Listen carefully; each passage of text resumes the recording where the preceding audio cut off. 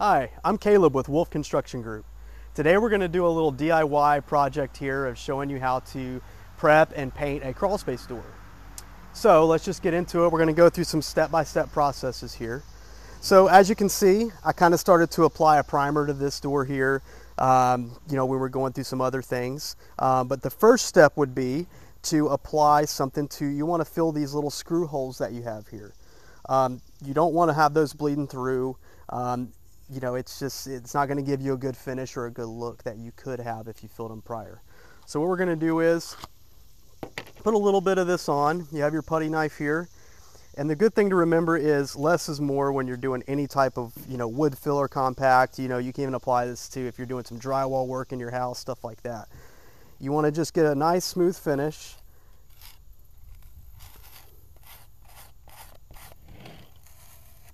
Just like that. And it may take one or two coats and that's okay. You know, apply one, let it dry, sand it down a little bit, and then put your second coat on until you can run your hand across it and feel that it's smooth, um, you know, where you don't even hardly know it's there.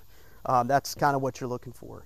So we'll get that on, of course, let that dry, and then we're going to go into the sanding process. So the next thing to do is, uh, we have here, just this is an orbital sander. Um, this is a 220 grit paper that's on here, which is really fine. So that will cause you not to be able to, you know, if you're not used to sanding, put any gouges, those type of things, or any lines in it, because using an electric sander, you can do that very easily. You can also use a palm sander, um, kind of the same process. Um, probably if you're not used to using any power equipment such as sander, or something like that, I would recommend starting with the palm sander. It's a little less aggressive than the orbital sander. Um, and then start with a 220 paper. If that doesn't get out whatever imperfections you have, you know, you can always go, well, down from there as far as the numbers go. Um, so that's kind of kind of where I would recommend with the sanding. Uh, the next step would be to apply the primer. As you can see, we've already started here. Um, and this is a good example, as you can see, where these screw holes are showing through.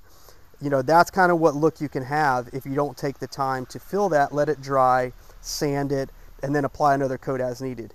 Your finish should not look like that once it's done. So right here, since we had applied some primer uh, for something else we were doing, you know, we could still come back, put a little bit of wood filler on that and do a light sand and then continue with our painting. So you have the primer, you want to let that dry. Um, these are Sherwin-Williams products. You know, that's what we recommend. That's what we like. Um, another important note about the primer is when you're buying a primer, you want to specify with whoever your representative is at the Sherwin-Williams that you are painting a pressure-treated product. This pressure-treated wood does have a lot of chemicals and other solutions in it that make it a pressure-treated material. Um, but with that, over time, as that dries out, that will that product will try to push through the paint. So you want to have a good primer that has a seal blocker in it that won't allow that colors of that, that uh, chemicals and solutions that are in the product to bleed through your paint color and show. Um, secondly, you know, you have your finished paint here. Um, you know, this is a, this is a Promar paint, which you can get at Sherwin-Williams. Um, again, just express to them what you're doing with it and they'll lead you in the right direction. This is an exterior latex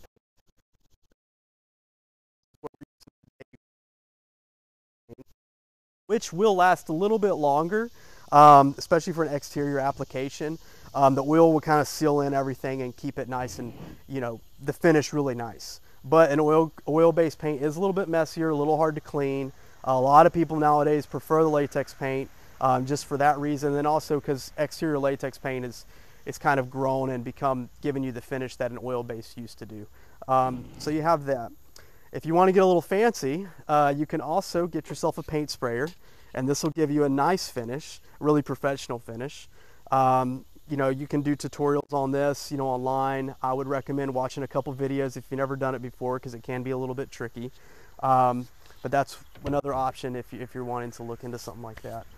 Um, other than that, you know, it's it's pretty basic process. Uh, if you have any questions, you know, please reach out to us at Wolfe Construction. And of course, check us out at wolf.construction.